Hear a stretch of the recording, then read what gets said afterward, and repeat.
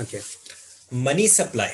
It refers to the total stock of money held by the people of the country at a point of time.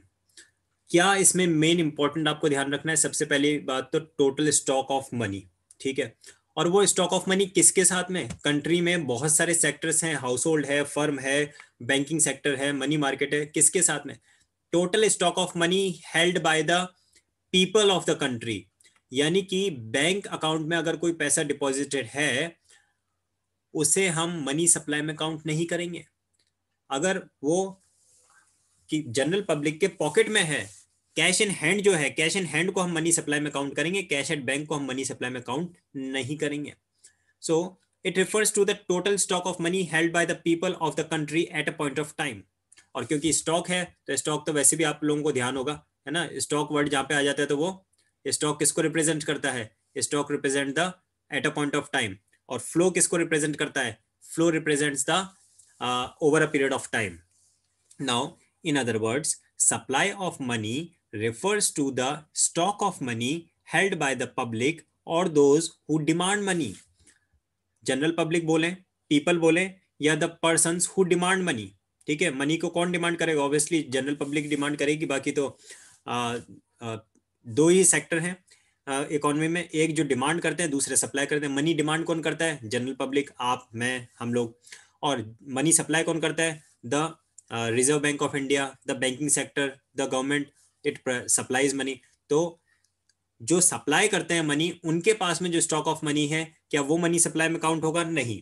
The money supply comprises of the money supply refers to the stock of money the total stock of money held by the people who demand money supply of money does not include stock of money held by the government देखिए, साफ़ शब्दों में लिखा है।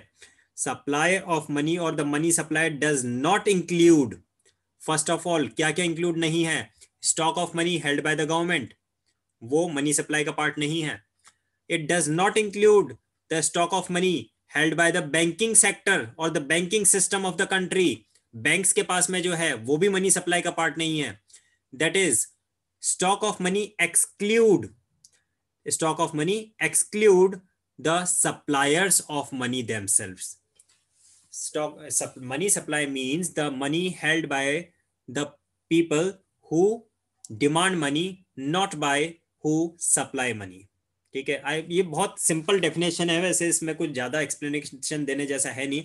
एक बार में mind में set हो जाती है कि जो जनरल पब्लिक है उनके पास कैश इन हैंड है वो मनी सप्लाई का पार्ट होगा। लेकिन अगर बैंकिंग सेक्टर की बात करें गवर्नमेंट की बात करें they are the suppliers of money और उनके पास में जो मनी है, वो मनी सप्लाई का पार्ट नहीं होगा।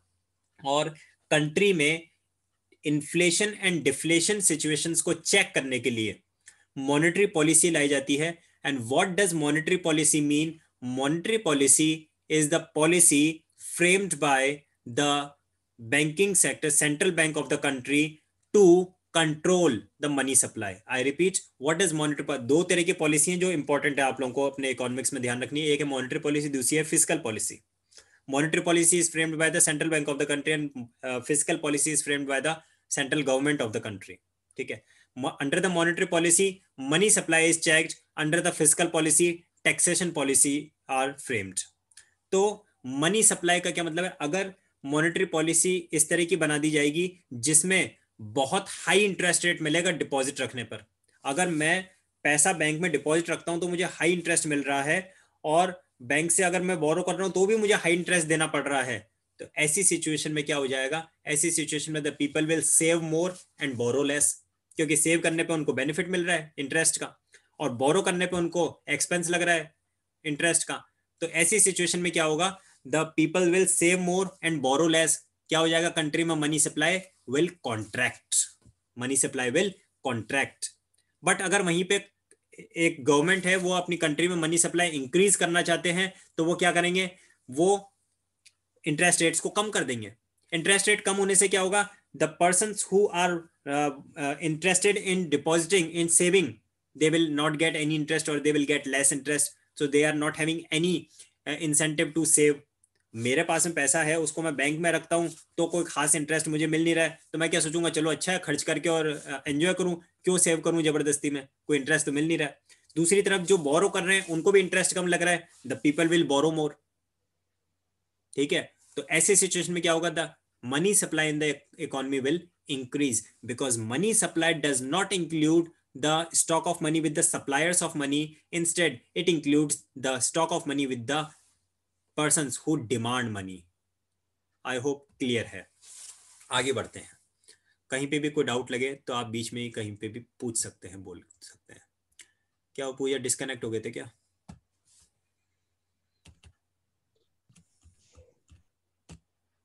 चलिए मेज़रमेंट ऑफ़ मनी सप्लाई की बात करते हैं।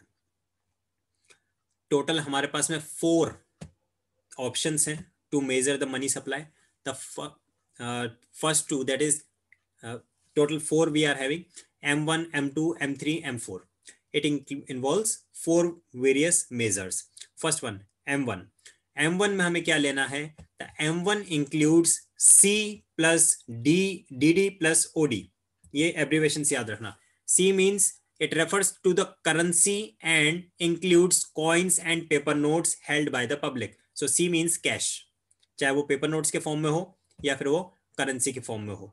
So M one has the formula C plus D D plus O D उम्मीद करता हूँ डी का मीनिंग भी सबको पता है और डी का मीनिंग भी सबको पता है। फिर भी देख लेते हैं। D D refers to the demand deposits of the people with the commercial banks तो सी के लिए आप रेफर करेंगे किसे? सी के लिए हम रेफर करेंगे कैश को। और डीडी के लिए हम रेफर करेंगे किसे? डीडी के लिए हम रेफर करेंगे डिमांड डिपॉजिट्स को। It refers to the demand deposits of the people with the commercial banks. Only net demand deposits are included in the money supply. Net demand deposits do not include interbanking claims. एक bank का दूसरी bank की तरफ़ जो claim है, उसे include नहीं करता है नेट डिमांड डिपॉजिट्स और यहाँ पे एम वन में सिर्फ़ नेट डिमांड डिपॉजिट्स को ही काउंट किया जा रहा है। And OD means the other deposits अगर अदर कोई डिपॉजिट्स है तो OD means other deposits with the banks and anybody else means demand deposits के अलावा कोई डिपॉजिट्स हैं जिसमें आपका सेविंग में कोई पैसा है करंट अकाउंट में है, वो इंक्लूड हो जाता है। M one include C plus D D plus O D cash in the form of coins and currency notes plus D D that is demand deposits means net demand deposits O D means other deposits तो ये बन गया आपका M one measurement of money supply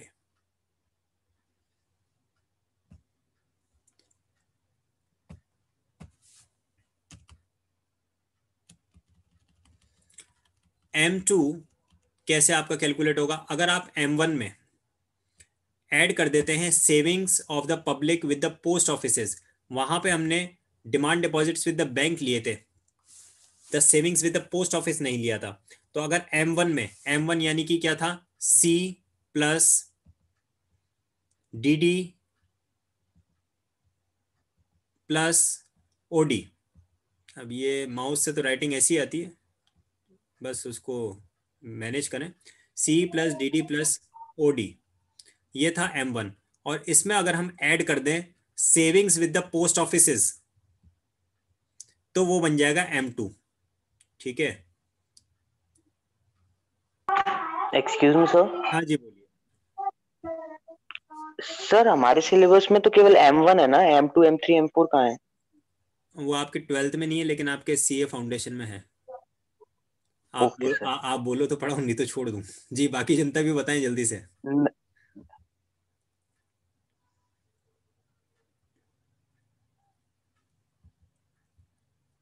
क्या वो शिल्पा आप तो बोलो कुछ। सब पढ़ा दीजिए। इतना डल वॉइस में। चिंता मत करो नहीं सर मतलब सही है। ज़्यादा बर्डन नहीं पड़ेगा इतना डिफ़िकल्ट नहीं बहुत इजी टॉपिक है। तो आप देख लीजिए दिक्कत नहीं आएगी, ठीक है?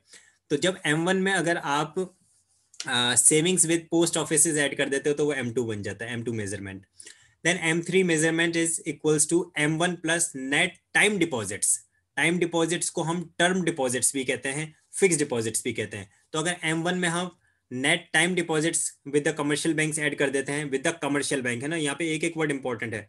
विद द कमर्शियल बैंक वाला ऐड कर देते हैं तो वो आपका एम थ्री बन जाता है। और अभी जैसा कि आर्यन ने कहा कि हमारा एम वन ही सिर्फ़ है तो उसका पर्पज भी वही है कि देखिए एम टू में हमने पोस्ट ऑफ़िस ले लिया एम थ्री में हमने कमर्शियल बैंक के साथ टाइम डिपॉजिट ले लिया, जबकि टाइम डिपॉजिट तो money with the commercial bank है और मनी विद द बैंक्स को हमें इंक्लूड करना नहीं है मनी सप्लाई में तो उस पॉइंट ऑफ़ व्यू से बट ये डिफरेंट मेजरमेंट्स हैं। और एम फोर में क्या आता है? एम फोर मीन्स ये बाकी सारों को ऐड कर लो।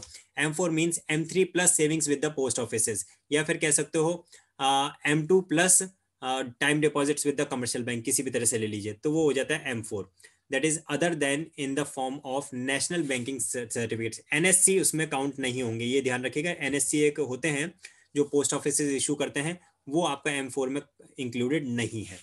और फाइनली चैप्टर ओवर करते समय हम यहाँ पे जो लास्ट पॉइंट है, उसे और मैं बता देता हूँ क्या लिखा है यहाँ पे। That is M1 one and M two are the measures of narrow money supply M one and M two are the measures of narrow money while M3 three and M four are the measures of broad money ये इसका एक indicator है। M three is most widely use measure M three क्या था? M three था M one plus uh, term, this one uh, deposits with the term deposits with the commercial banks. M3 क्या था M1 plus term deposits with the commercial banks. So M3 is the most widely used measure of money supply with M1 being the most liquid, M1 being the most liquid and M4 being the least liquid. M4 में क्या था M4 में M1 plus post saving with the post office term deposit with the commercial bank M four में तो सारे आ गया था। Form of money supply changes in C plus D D and time deposit of bank causes changes in the money stock as measured by M three commercial banking system and the central banking system commercial banking और central banking I hope समझते हैं आप। Commercial bank वो होती हैं जो general public को banking facilities provide करती हैं। और सेंट्रल बैंकिंग वो होते हैं जो कमर्शियल बैंक्स को बैंकिंग फैसिलिटीज़ प्रोवाइड करते हैं। यानी अगर हमें अपना अकाउंट ओपन करना है तो हम कहाँ जाएँगे? S B I I C I C I B O B P N B ठीक है ये कमर्शियल बैंक है। अगर ये बैंक वाले खुद का अकाउंट ओपन करना चाहते हैं तो ये कहा जाएँगे? ये सेंट्रल बैंक के पास जाएँगे दैट इज़ आरबीआई ठीक है। As these are key player in determining the changes in the quantum of money supply बहुत ही इंपॉर्टेंट सेंटेंस है इसको ध्यान रखना। Uh, यहाँ से स्टार्ट हो जाता है दीज से। These are the key players in determining the changes in the quantum of money supply that is quantity of money supply quantum of money supply या क्वांटिटी ऑफ़ मनी सप्लाई इन्हीं से monetary policy से ही govern होती है monetary policy से ही major होती है govern होती है, ठीक है कंट्रोल होती है। उसे हम बैंकिंग के चैप्टर में डिटेल में पढ़ेंगे कि मनी सप्लाई को किस तरह से कंट्रोल किया जाता है। यहाँ तक इस चैप्टर में किसी के माइंड में कोई क्वेश्चन, कोई डाउट, कोई करी है तो पूछ सकते हैं।